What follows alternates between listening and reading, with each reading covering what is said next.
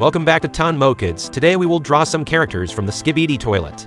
If you want me to draw about characters or topics, please comment below this video. Don't forget to support me by liking the video, subscribing to the channel, and hitting the notification bell. Now let's get started.